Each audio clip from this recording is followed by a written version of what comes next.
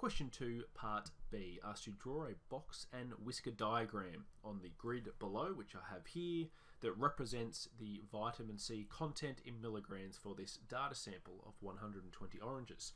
Now, the key to a box and whisker diagram is there are five important points, which I've illustrated in green down below. So the minimum value, the lower quartile, or otherwise known as Q1, the median, the upper quartile, otherwise known as Q3, and the max. And as long as you have those five key pieces of information, drawing the box and whisker diagram is actually pretty easy.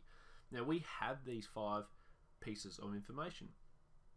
Three of them we found out in part A, so our median is 32.5. I'll just put a star next to all these five important pieces. So median here, lower quartile, upper quartile, it's Q3, and then we are given in the question our min and max.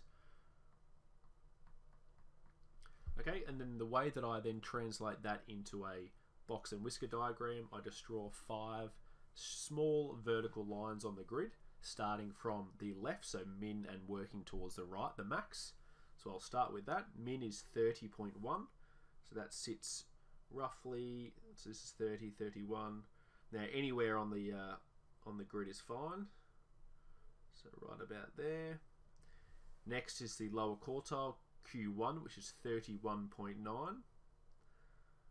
So that's going to be about there. Median 32.5. And then upper quartile Q3 33.1. is 33.1.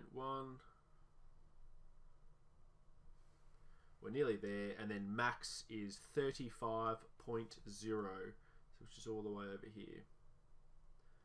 And now that we have our five um, small vertical lines, we can then just draw a box uh, between the second and fourth.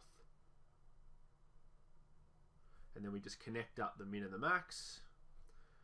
And there we have it, a very nice looking box and whisker plot, and that is the answer to part B of question 2.